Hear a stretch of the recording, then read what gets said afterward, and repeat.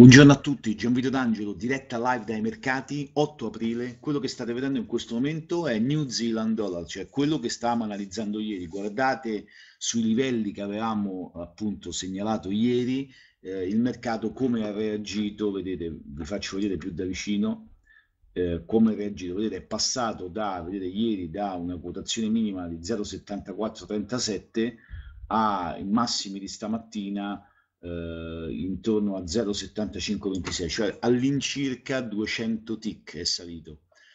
Questo per farvi capire un attimo, appunto, aggiornarvi direttamente sulla situazione, ma non era tanto farvi vedere quello che è successo ieri, perché eh, è più o meno successo tutti i giorni, quello che appunto diciamo il giorno precedente, quanto oggi volevamo, volevo focalizzarmi, eh, visto le mail anche che mi stanno arrivando, i contatti su Facebook eh, che mi fanno domande, eh, relativamente a ciò che non bisogna fare. Vi faccio vedere ad esempio due titoli importantissimi del nostro indice principale. Vedete, il primo è nel Green Power.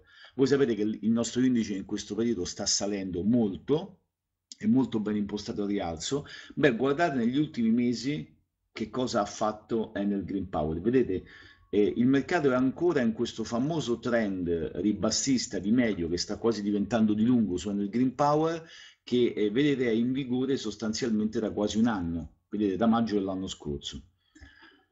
Ma se io fa, vedo, vi faccio vedere un altro titolo del nostro Fuzimib, Enel, un cugino stretto, si capisce anche dal nome, guardate esattamente la differenza, guardate, vedete che questo trend di medio che era in vigore su Enel Green Power, vedete su Enel praticamente questo non è in vigore. Questo che cosa vuol dire?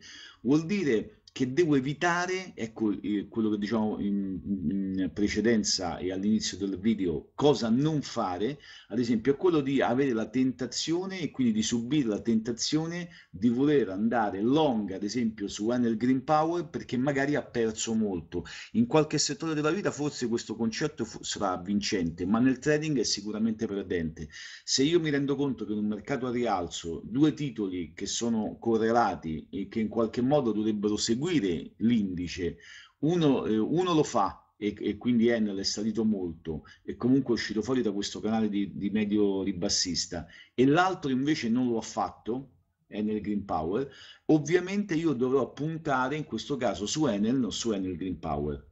Questo è un concetto, ripeto, importantissimo su cui mi voglio soffermare oggi e cioè sul cosa non fare piuttosto che esattamente cosa fare il, ricordatevi che non è, un, non è soltanto farvi vedere eh, se in effetti i mercati vanno dove noi diciamo, dove io dico, ma soprattutto quello di eh, sapere e quindi di acquisire le, le, gli strumenti per poter decidere noi in piena autonomia esattamente che cosa fare.